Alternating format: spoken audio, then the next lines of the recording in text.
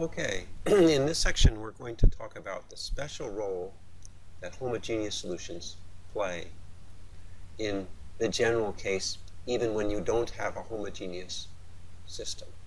Now this result is very interesting because it doesn't just apply to linear equations but when you take differential equations you'll see a very similar result and uh, it's a very widespread concept that applies to any so-called linear system, whether it's a system of equations or not. Well, let me let that comment go there, but suffice it to say that this theorem really is a particular case of a very general principle. All right, so let's see what it says. The statement, the theorem is called particular solution plus homogeneous solutions. Okay, and that kind of summarizes what it's about.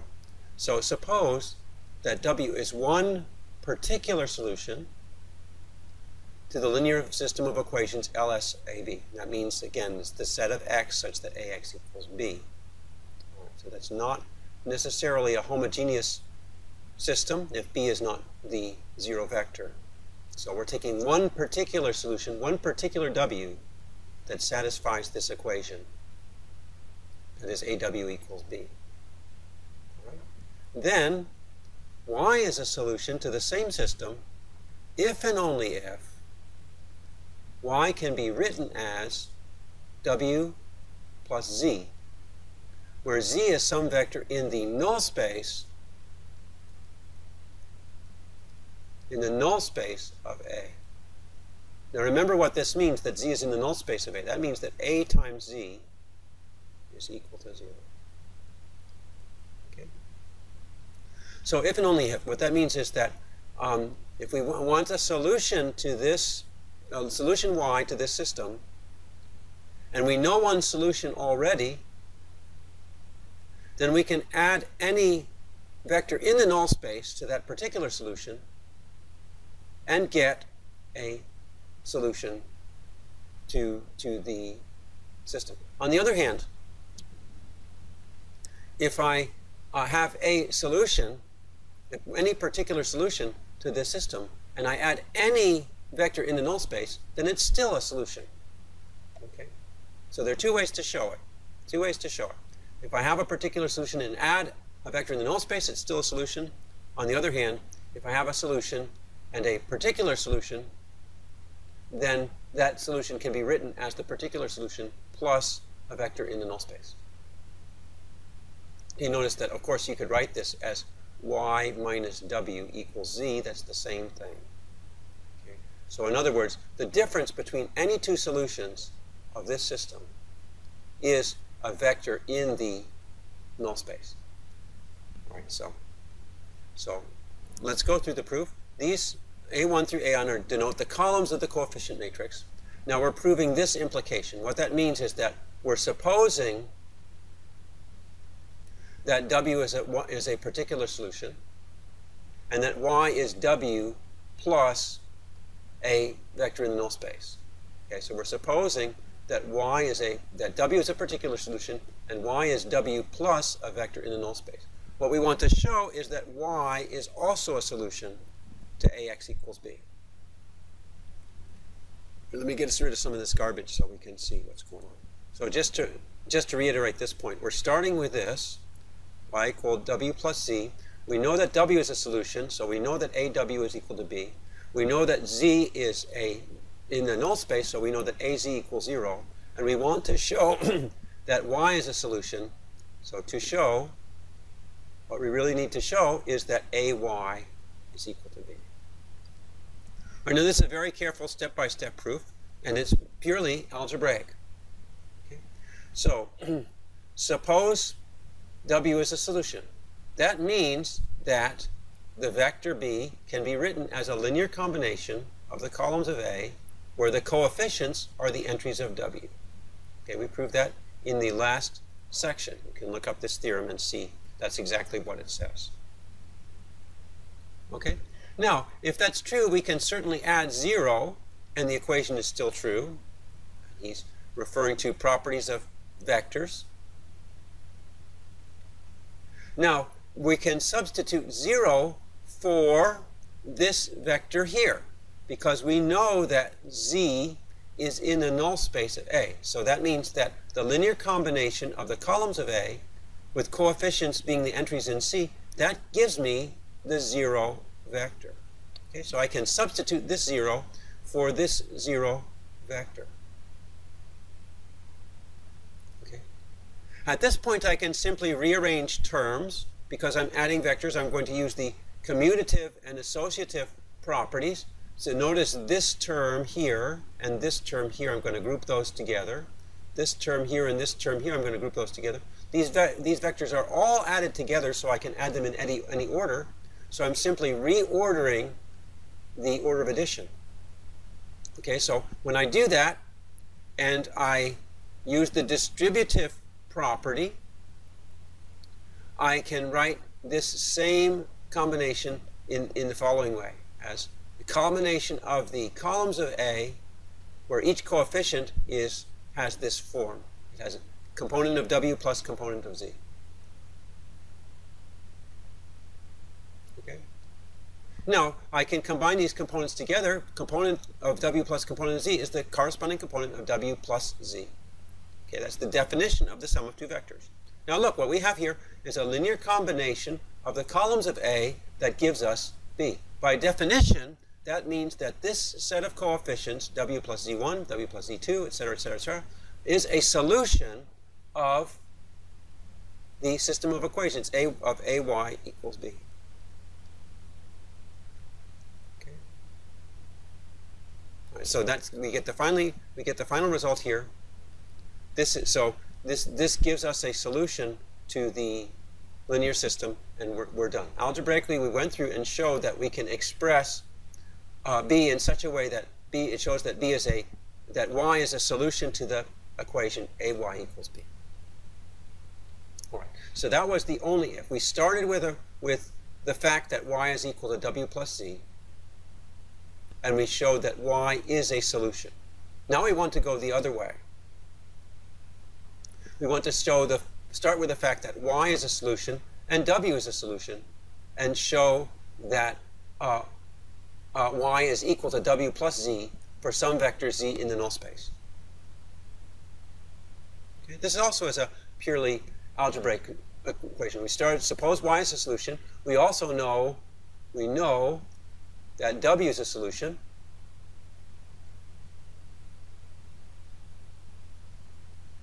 And we want to show, what we want is that y is equal to w plus z where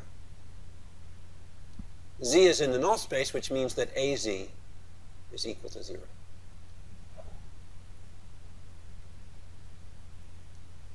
Okay. As I, as I mentioned here, this is equivalent to showing that uh, y minus z, y, sorry, y minus w rather, y minus w is equal to z. And that's actually how we're going to prove it. okay. So we start this way. We're going to show 0. We're, what we're actually going to show is that y minus w is in the null space. So we start with 0. We write that as b minus b. And we know that aw equals b. And we also know that ay equals b. So we can write b as, uh, b as this combination of column vectors minus this other combination of column vectors. And we do similar combinations, knowing that we can rearrange sums of vectors and uh, use the distributive law to combine coefficients. Similar to the previous proof, we have this sum of column vectors. Then using the definition of vector sum, this difference of components is exactly the component of the difference vector. Okay, so what have we shown here? We've shown that y minus w, the vector y minus w, is a solution to a times y minus w equals 0.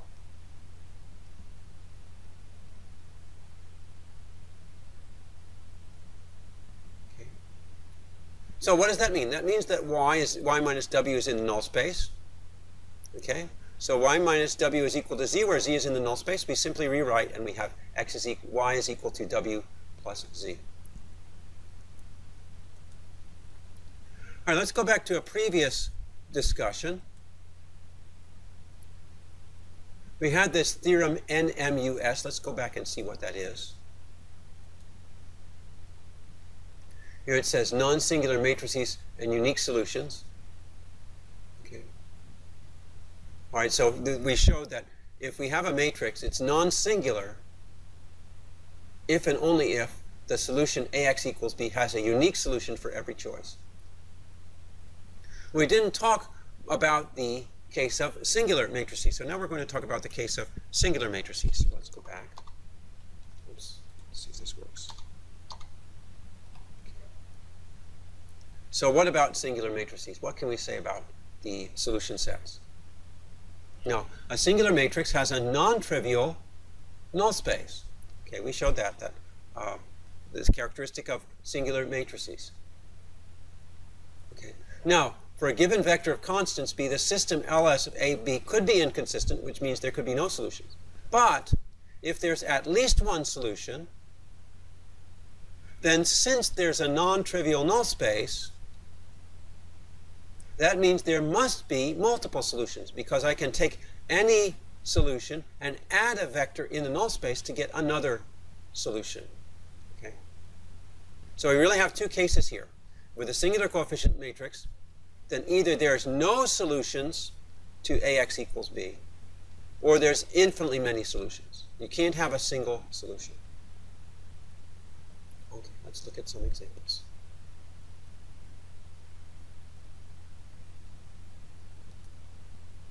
All right, in this case, in this system D, turns out you can look back and see that these three vectors were all solutions to this system of linear equations.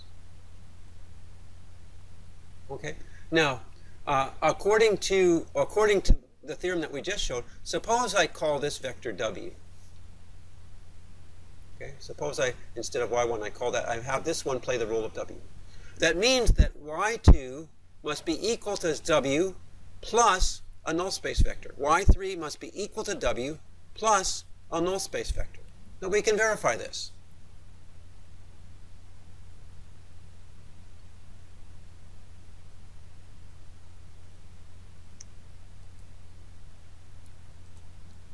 That's really the same thing as saying, if I say that y2 is equal to w, well, I'll just call that y1 because it's the same thing, plus a vector in the null space, that's the same thing as saying that y2 minus y1 is equal to z. y2 minus y1 must be in the null space.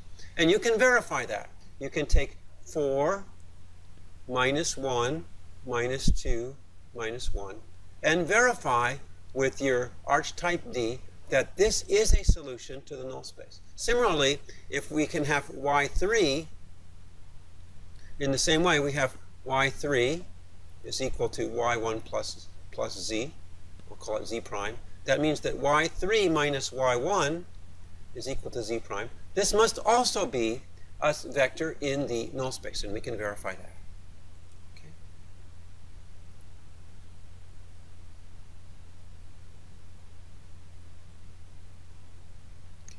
And that's what he says here also, that you take any two solutions and take the difference, you can find that this is also a solution to the homogeneous system, so it's in the null space.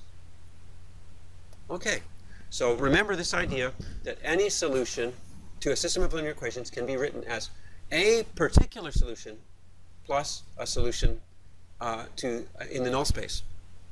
And if there's no null space, then the equation has a unique solution if it's consistent.